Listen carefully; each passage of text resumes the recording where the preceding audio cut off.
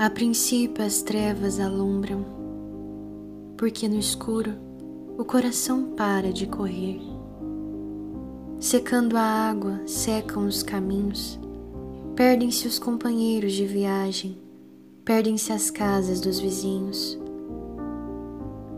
A noite, a princípio, é o homem sem casa, é o lugar em silêncio, é a humildade umedecendo o corpo descalço e consumido. A noite ativa, a noite é um motor imenso de lume. O arbusto, a princípio, é a própria inclinação da cabeça, queimada nos cabelos, consumida em pensamentos.